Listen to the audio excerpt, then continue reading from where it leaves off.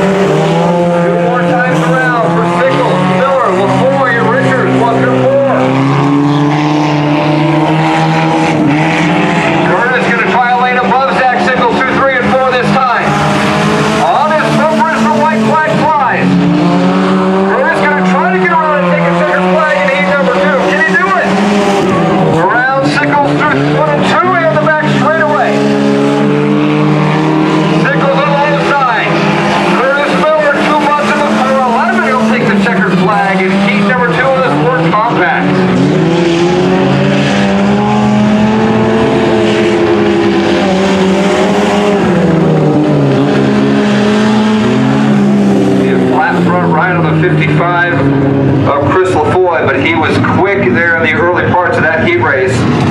Keep an eye on